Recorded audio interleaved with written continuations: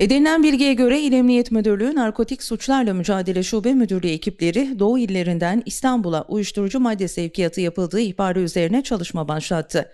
Ekipler il sınırına girdiği belirlenen otomobili Tem otoyolu üzerinde kurdukları uygulama noktasında durdurdu.